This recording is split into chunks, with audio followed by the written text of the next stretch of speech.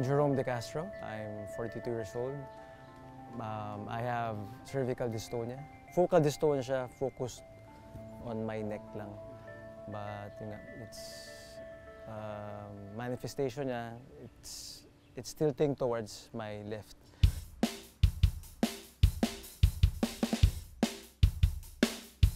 Typical na ano, tao. Malakwatsa ako dati. Although mahilig na ako mag-gym, mahilig na ako mag-workout, pero lumalabas pa rin ako. Ah, pero nung inintroduce sa akin nung misis ko ang pagtatakbo, nung ah, bago ako mag-40, bigla ako nahilig. Do- dahil doon, natigil ko lahat ng mga bisyo ko.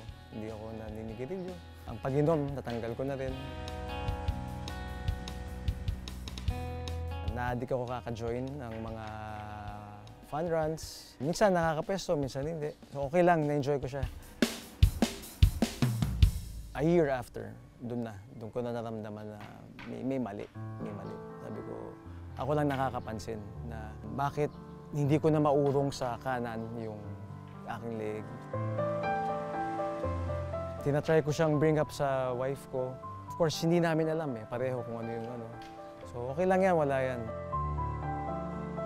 Nung nalaman ko na naninigas na talaga siya, nag-google ako, neck tilting towards one side, tapos doon ko nakita ah, dystonia.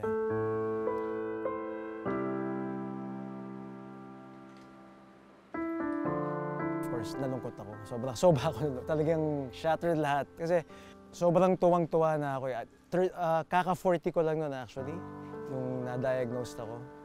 May kasabihan, life begins at 40. I was really into ano, sports na. Sabi ko, ito na healthy life, healthy lifestyle na ang plano ko talaga. Tapos ito, paano ako makakatakbo? Kagad nung na pumasok, paano na mga anak ko? Tumigil ako ng two months. Pero ang napansin ko, habang nagpapahinga ako, ah, lalo sumasakit. Kasi wala akong ginawa kundi isipin, nakaka-depress. Sabi ko, wala mawawala eh, subukan ko. Nag-decide ako tumakbo ulit. Masakit pa rin, masakit. Ah, nag-prepare ako, naghanda ako sa half marathon race para susubok gusto ko malaman kung kaya ko pa o hindi.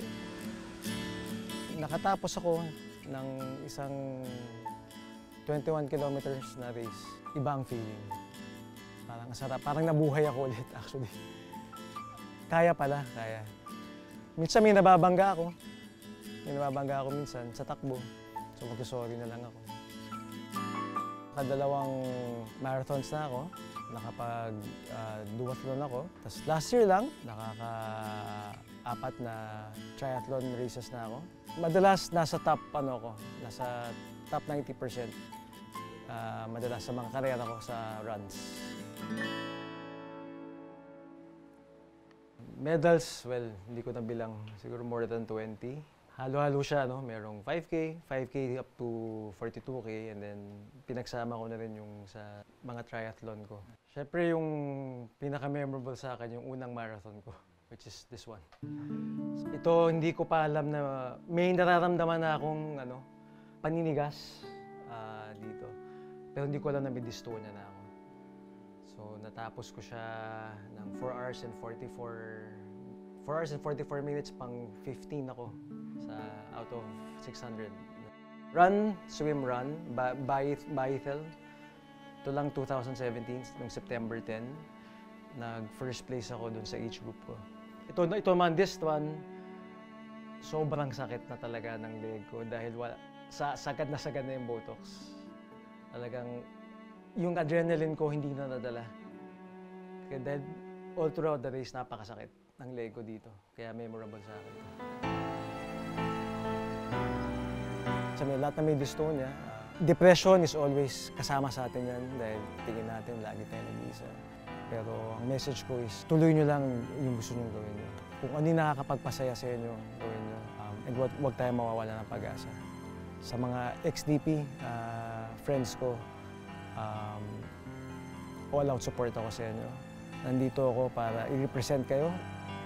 Ah, nandito ako para para ipakilala ang XDP at humingi ng tulong